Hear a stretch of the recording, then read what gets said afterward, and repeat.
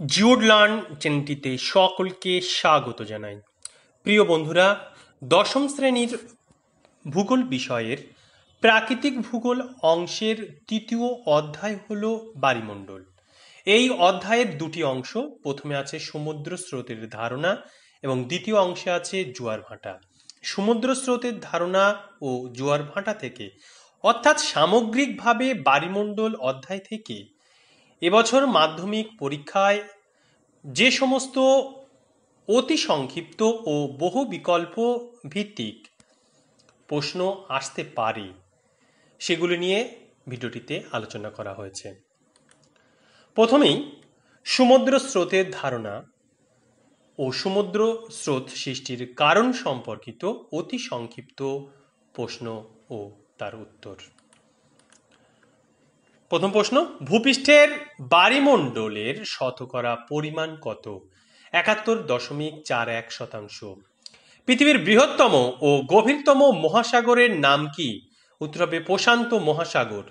পৃথিবীর গভীরতম সমুদ্র খাতের নাম কি? উত্তর হবে মারিয়ানা খাত, যার গভীরতা এগারো হাজার তেত্রিশ মিটার। এটি প্রশান্ত মহাসাগরে অবস্থিত। পৃথিবীর বৃহত্তম মগ্নচড়া গ্র্যান্ড ব্যাংক। সমুদ্র স্রোত বিভাজন রেখাকে বলা হয় হিমপ্রাচীর। পরে প্রশ্ন, সমুদ্রের জলরাশির চক্রকার গতি জায়র বলে।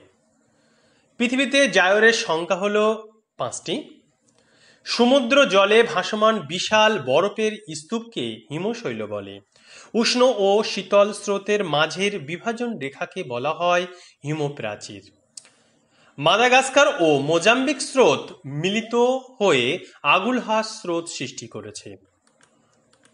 পরে প্রশ্ন, সমুদ্র স্রোতের চক্রাকার গতিকে জায়র বলে প্রশান্ত মহাসাগরের শীতল স্রোতের নাম হলো বেরিং স্রোত, পেরু স্রোত বা পেরু স্রোতের আরেকটা নাম হচ্ছে হামবোল্ড স্রোত আর ক্যালিফোর্নিয়া স্রোত। এগুলো হচ্ছে প্রশান্ত মহাসাগরের অন্যতম শীতল স্রোত। উষ্ণ ক্রোশীয় বা জাপান স্রোতের প্রভাবে শীতকালেও জাপানের উপকূল উষ্ণ থাকে। তাহলে জাপান উপকূল উষ্ণ থাকে কোন স্রোতের প্রভাবে? উষ্ণ ক্রোশীয় স্রোতের প্রভাবে, যার আরেকটি নাম হলো জাপান স্রোত।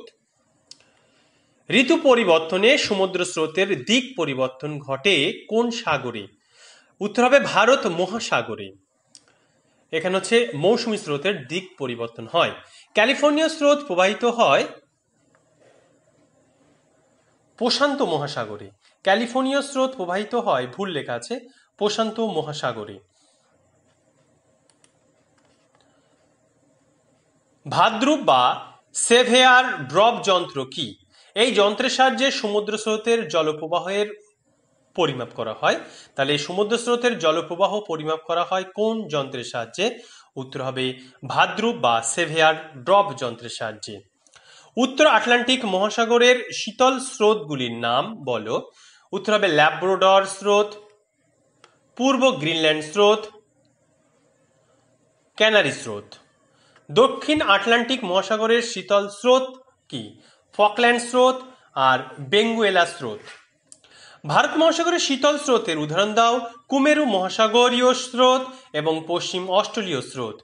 উষ্ণ উপসাগরীয় স্রোত ও শীতল ল্যাব্রাডর স্রোতের মিলনে কি সৃষ্টি হয়? উত্তর হবে হিমপ্রাচীর সৃষ্টি হয়। বা হিমপ্রাচীর সৃষ্টি হয় কোথায়? উত্তর উদাহরণ দাও। উষ্ণ উপসাগরীয় স্রোত ও শীতল ল্যাবরেটর স্রোতের মিলন স্থলে হিমপ্রাচীর সৃষ্টি হয়। অর্থাৎ যেটা উষ্ণ স্রোত এবং শীতল স্রোতের মিলন স্থলে হিমপ্রাচীর সৃষ্টি হয়। পৃথিবীর সর্বাপেক্ষা দ্রুতগামী সমুদ্র স্রোতের নাম কি? উত্তর হবে উপসাগরীয় স্রোত। প্রশান্ত মহাসাগরের উষ্ণ স্রোতগুলির নাম বলো। উত্তর ও দক্ষিণ নিরক্ষীয় স্রোত, নিরক্ষীয় প্রতিস্রোত, পূর্ব অস্ট্রেলীয় স্রোত, ক্রোশীয় স্রোত, প্রভৃতি। আটলান্টিক মহাসাগরের উষ্ণ স্রোতের নাম বলো। উত্তর ও দক্ষিণ নিরক্ষীয় স্রোত, নিরক্ষীয় প্রতিস্রোত, উপসাগরীয় স্রোত, ক্যারিবিয়ান স্রোত, ব্রাজিল স্রোত, প্রভৃতি। ভারত মহাসাগরের উষ্ণ স্রোতের উদাহরণ কি? মৌসুমি স্রোত, আগুলহা স্রোত, মাদাগাস্কার স্রোত, মোজাম্বিক স্রোত প্রভৃতি। হিমশৈল গলনের ফলে মগ্নচড়া সৃষ্টি হয়।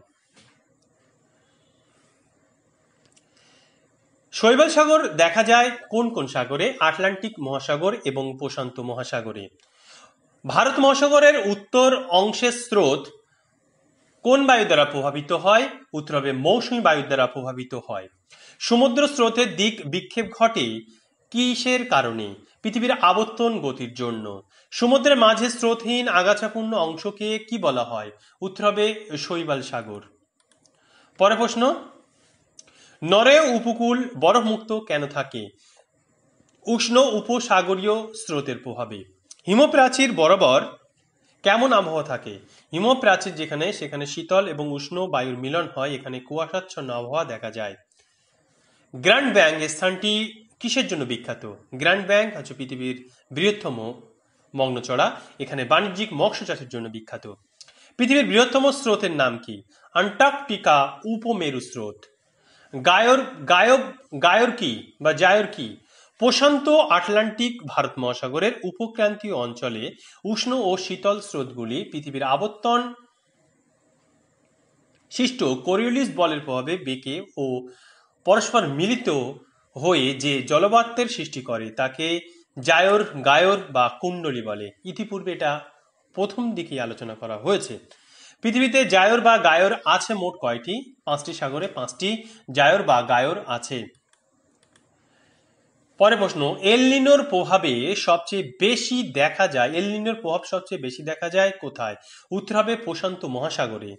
এলনিনো কি? দক্ষিণ আমেরিকার পেরু ও চিলির উপকূলে দক্ষিণ প্রশান্ত মহাসাগরে দুই থেকে সাত বছর অন্তর ডিসেম্বর মাসে যে দক্ষিণমুখী অস্থির উষ্ণ স্রোত সৃষ্টি হয়, তাকে এলনিনো বলে।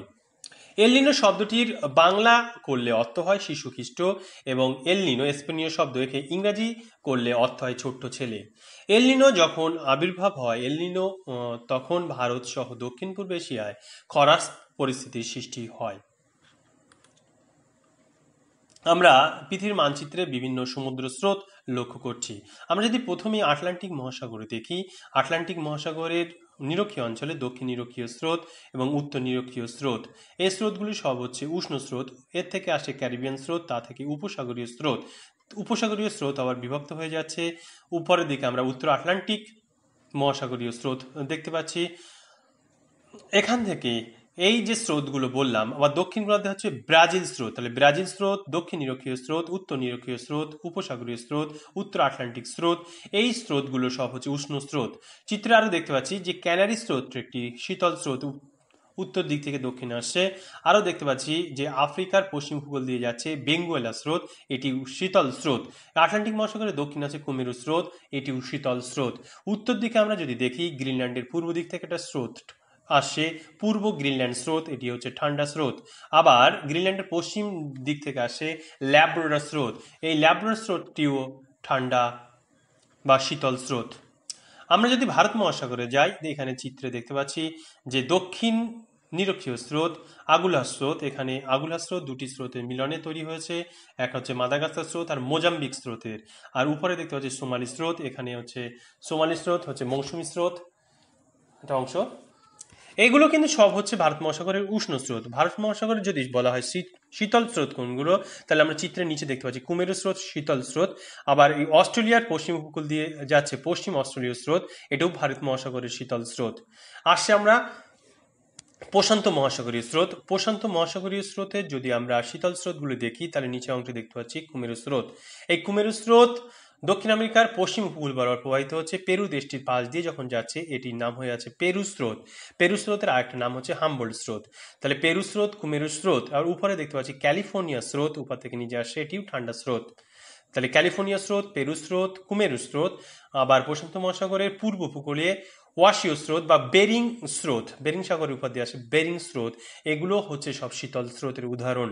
যদি বলা হয় যে প্রশান্ত মহাসাগরের উষ্ণ স্রোত কোনগুলো, তাহলে আমরা চিত্র যদি আরেকটু ভালো করে দেখি, যে এখানে দক্ষিণ নিরক্ষীয় স্রোত, উত্তর নিরক্ষীয় স্রোত, এগুলো হচ্ছে উষ্ণ স্রোত। এছাড়াও আছে কি?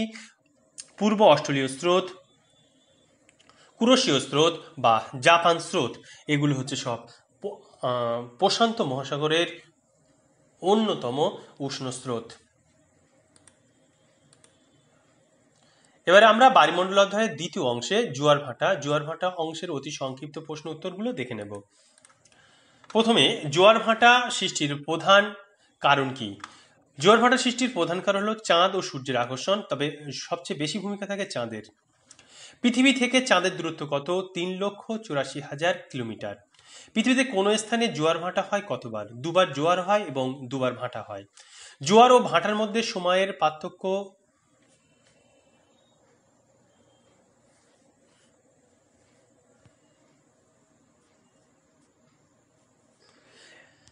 ছ ঘণ্টা তেরো মিনিট। জোয়ার ও ভাটার মধ্যে সময় পার্থক্য হবে ছ ঘণ্টা তেরো মিনিট। দুটি মুখ্য জোয়ারের মধ্যে সময়ের ব্যবধান হবে চব্বিশ ঘণ্টা বান্ন মিনিট। একটি মুখ্য জোয়ার ও একটি গৌণ জোয়ারের মধ্যে সময়ের পার্থক্য হয় বারো ঘণ্টা ছাব্বিশ মিনিট। মরা কোটাল যে তিথিতে সংগঠিত হয় সেটা হলো কৃষ্ণ ও শুল্ক পক্ষের অষ্টমী তিথিতে। এই সময় চাঁদ এবং সূর্য পৃথিবীর সমকোণে অবস্থান করে। ভরা কোটাল বা তেজ কোটাল যে তিথিতে সংগঠিত হয়, তার নাম কি? আমাবস্যা ও পূর্ণিমা তিথিতে। পৃথিবী ও চাঁদের মধ্যে দূরত্ব যখন সর্বাধিক হয়, তখন তাকে অ্যাপোজি অবস্থা বলে। এই সময় পৃথিবী এবং চাঁদের মধ্যে দূরত্ব হয় চার দশমিক শূন্য সাত লক্ষ কিলোমিটার। পৃথিবী ও চাঁদের মধ্যে দূরত্ব যখন সবচেয়ে কম হয়, তখন তাকে বলে পেরিজি অবস্থা। এই সময় পৃথিবী এবং চাঁদের মধ্যে দূরত্ব হয় তিন দশমিক পাঁচ ছয় লক্ষ কিলোমিটার। পৃথিবী পৃথিবী, চাঁদ ও সূর্য একই সরলরেখায় অবস্থান করলে সেই অবস্থান করলে তাকে বলে সিজিগি পৃথিবীর চাঁদ ও সূর্য যখন একই সরলরেখায় অবস্থান করে, তখন তাকে সিজিগি বলে। চাঁদ ও সূর্যের মাঝখানে পৃথিবী এক সরলরেখায় অবস্থান করে কোন তিথিতে? উত্তর হবে পূর্ণিমা তিথিতে। পূর্ণিমার সময় চাঁদ ও সূর্যের মাঝখানে কে থাকছে? পৃথিবী থাকছে। চাঁদ, সূর্য এবং পৃথিবী একই সরলেখা থাকছে, তবে চাঁদ এবং সূর্যের মাঝখানে তখন থাকছে পৃথিবী। এটা হচ্ছে পূর্ণিমা হয় তখন।